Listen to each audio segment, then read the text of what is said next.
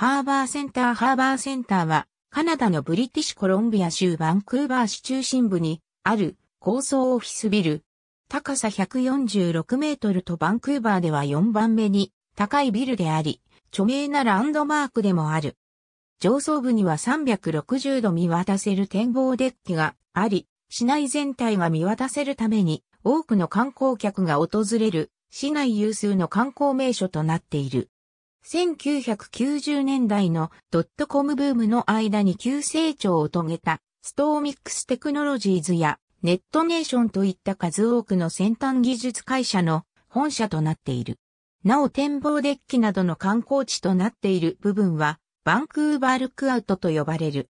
デザインはトロントの CN タワーなども手掛けた WZMH アーキテクツが担当し、28階建てでアレクサンドリアの大灯台がモデルと言われている。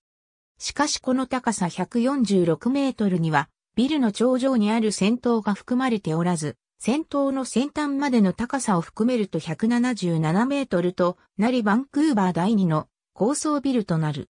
バンクーバー中心部のウエストヘイスティングズストリートにあり、シーバス、ウエストコーストエクスプレス、バンクーバースカイトレインといったバンクーバーの交通システムのターミナルとなっているウォーターフロント駅前にある。テナントは IT 企業の他にサイモン・フレーザー大学やイタリア領事館なども入居している。また先頭がクリスマスの時期に赤くライトアップされることでも有名である。ハーバーセンターの展望デッキはオフィスが入居しているビルの上にあり、1977年にオープンした。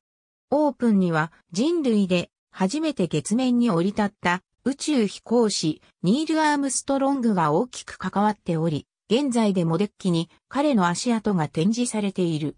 円形の展望デッキからはバンクーバー市内が一望でき、晴れた日にはアメリカのワシントン州にあるベーカー山までも肉眼で確認することができる。またデッキはバンクーバーで最も高い位置にある360度回転レストランでもある。ありがとうございます。